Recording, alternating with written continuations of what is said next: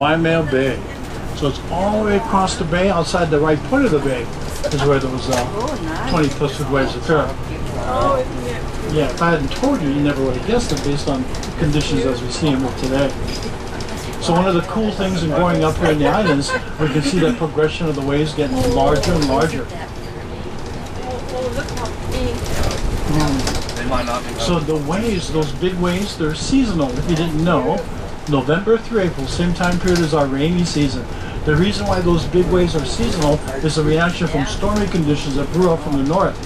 So swells traveling down thousands of miles, picking up speeds up to like 50, 60 miles an hour, hitting the first area of land, which is